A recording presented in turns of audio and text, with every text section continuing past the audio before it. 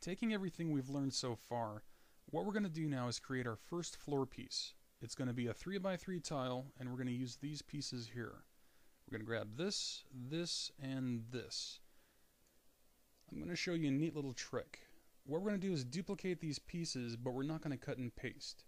By hitting the control key, you get an automatic duplication of everything that you have selected. We're going to place them right over here.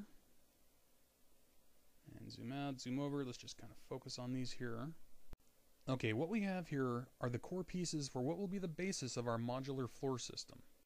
Selecting these two pieces here, we're going to hit the Q key. This will let us rotate these pieces. As you can see, this created a blue protractor. What this lets us do is rotate it on that plane.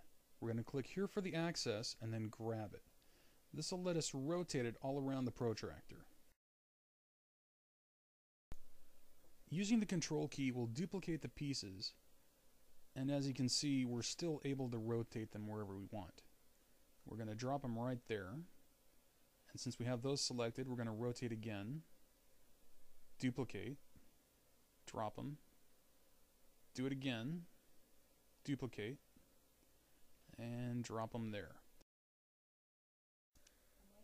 Alright, we're going to shift these over here. We're going to grab these up here and move them to surround the center tile.